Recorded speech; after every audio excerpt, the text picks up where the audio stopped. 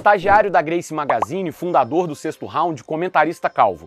Todo mundo que está nesse vídeo conhece bem o Renato Rasbula Rebelo.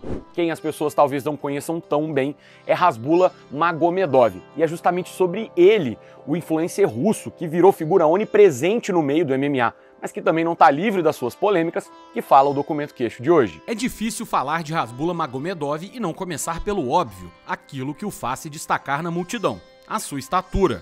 Rasbula Magomedov nasceu em julho de 2002 no vilarejo de Aksha, próximo das fronteiras russas com a China e a Mongólia. Quando ele ainda era uma criança, sua família se mudou para Mahashkala, no Daguestão, que fica na região do Cáucaso, próximo à Geórgia e ao Azerbaijão. Rasbula possui deficiência de hormônios de crescimento congênita, que compromete o desenvolvimento.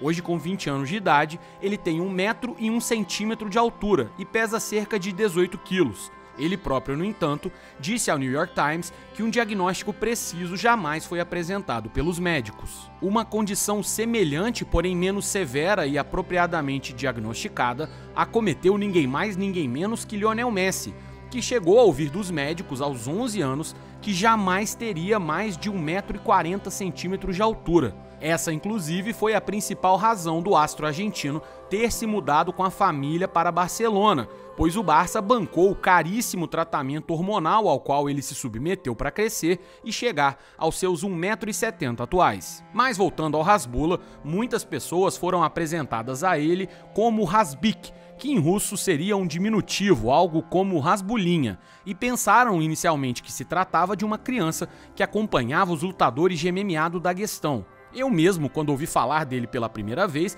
foi com a seguinte descrição: Você não vai acreditar, mas o filho do Islam Makhachev parece um adulto em miniatura. No fim das contas, como a gente sabe hoje, não tinha nada disso, era só um misto de confusão e desinformação mesmo. Esse tipo de coisa aconteceu também enquanto o jovem crescia e Rasbula mesmo contou a reportagem da BBC em 2021 que sofreu muito bullying na infância e principalmente na adolescência. Mas apesar de ser o primeiro ponto a ser mencionado quando se fala de Rasbula, a estatura é, na verdade, o assunto que ele menos gosta de abordar e raramente você vai ouvi-lo comentar. Durante uma entrevista em 2021, com o youtuber russo Ashab Tamayev, ele deu pistas das razões pelas quais esse é um tópico sensível. Meus pais consideram que eu sou deficiente e os médicos também. Eu discordo. Eu acho que eu sou saudável. Ao invés de falar sobre isso, Rasbula prefere comentar sobre os seus sonhos, tanto os que abandonou quanto os que segue perseguindo. Ao podcast Full Send, ele disse que chegou a frequentar a escola de estudos islâmicos por quatro anos, pois queria dedicar-se à teologia muçulmana. Porém, ele acabou desistindo e convenceu um amigo a dirigir 200 quilômetros de Marrascala até o local da escola para que ele pudesse fugir. E é justamente nesse momento da história que entra o MMA e a associação entre Rasbula e as artes marciais mistas mudou a vida dele para sempre. A primeira experiência de Rasbula com a fama foi dentro da própria comunidade do Daguestão. Ele viralizou na região em um vídeo em que aparece professando todo o seu amor por morangos.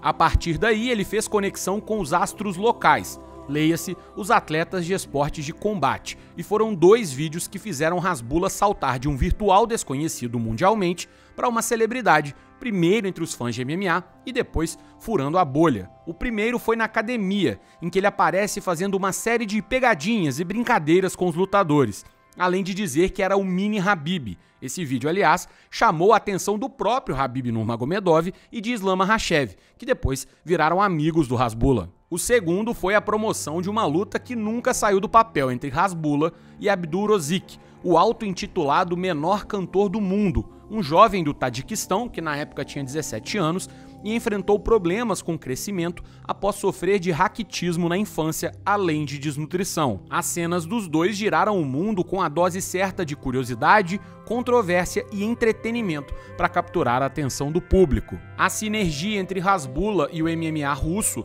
com bom trânsito tanto entre o clã do Daguestão quanto com a turma da Chechênia, e justamente no momento de maior destaque do país no cenário internacional, formou a tempestade perfeita para que o jovem pudesse deslanchar em sua carreira como influencer. Desse ponto em diante, teve um período ali em que era impossível não ver o Rasbula em todos os cantos da internet.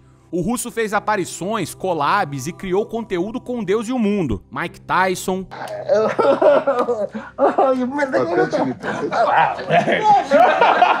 Burak Özdemir, o chefe sorridente. Shaquille O'Neal.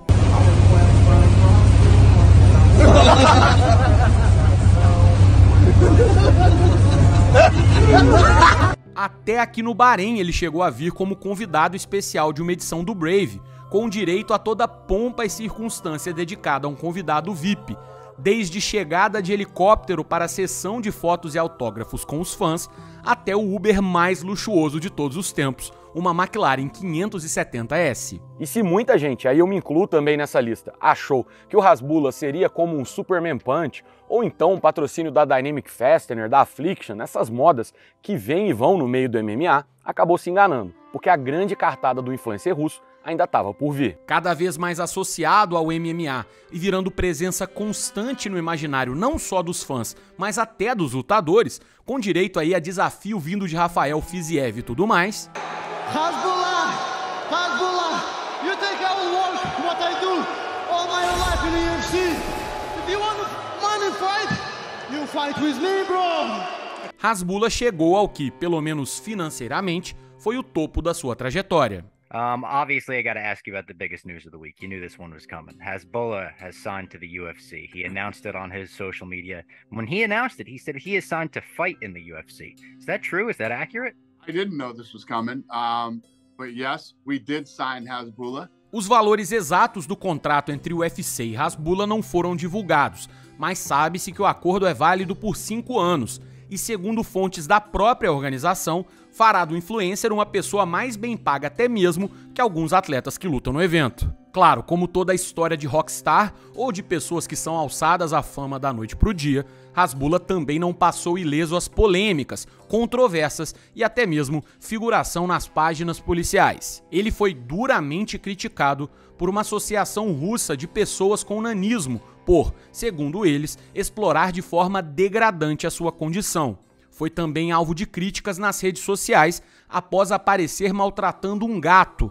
E no episódio mais grave e recente, foi preso junto com amigos e responderá pela violação de diversas leis de trânsito. Segundo o boletim da polícia, ele estava fazendo rachas e dirigindo de forma perigosa. Hasbula se desculpou publicamente, e embora sua posição de influencer contratado do UFC tenha sido mantida, a organização optou pela jogada de segurança, mantê-lo um pouco na geladeira para evitar associações. De toda forma, com um contratão desses e com a carreira agora estabelecida, é difícil não olhar essa história toda pelo ângulo positivo. Afinal de contas, a vida desse jovem russo não só mudou completamente, mas se ele tiver um mínimo de juízo e responsabilidade, também está garantida. E essa é a história de Rasbula Magomedov, o filho de bombeiro hidráulico do Daguestão, que se tornou o influencer milionário contratado pelo UFC.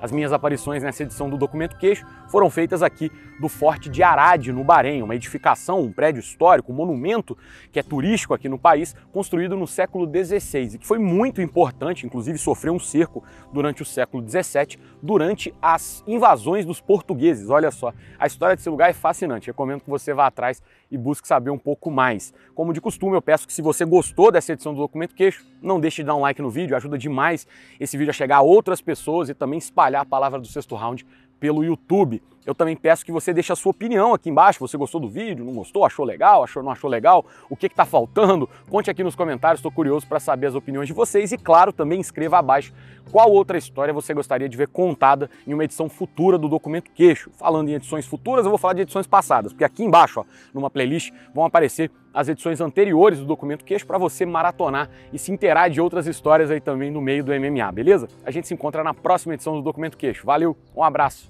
E até mais!